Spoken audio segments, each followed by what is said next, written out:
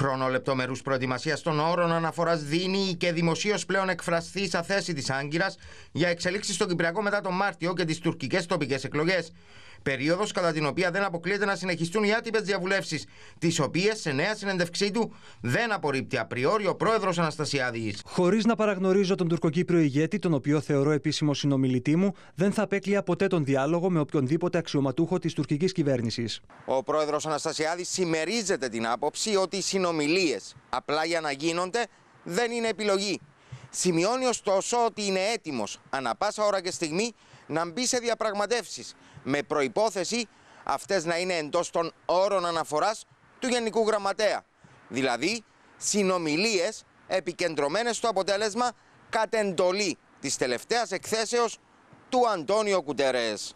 Παρά τα αυτά, οι προσδοκίες παραμένουν στον πάτο, όσο ο Τσαβούσογλου καλεί απάντε να ξυπνήσουν από το όνειρο για μηδέν στρατό και μηδέν εγγύηση. Δεν είναι εμένα που κάλεσε να αφυπνιστώ, αλλά το σύνολο της ελληνοκυπριακής κοινότητας.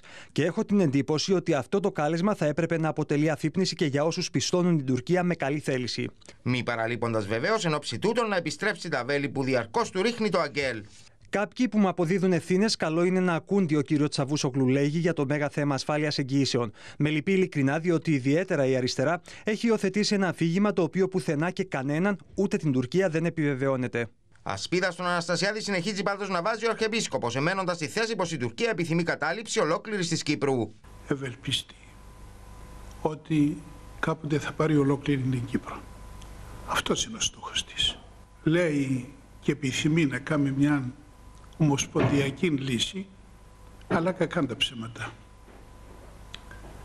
Λέει ομοσπονδία, αλλά εννοεί συνομοσπονδία υπό την χείριστη μορφή της. Οι δηλώσεις του Μακαριωτάτου έγιναν μετά το πέρας της Σίας Λειτουργίας στην τάλα της Πάφου. Νέα αντιπαράθεση ποιή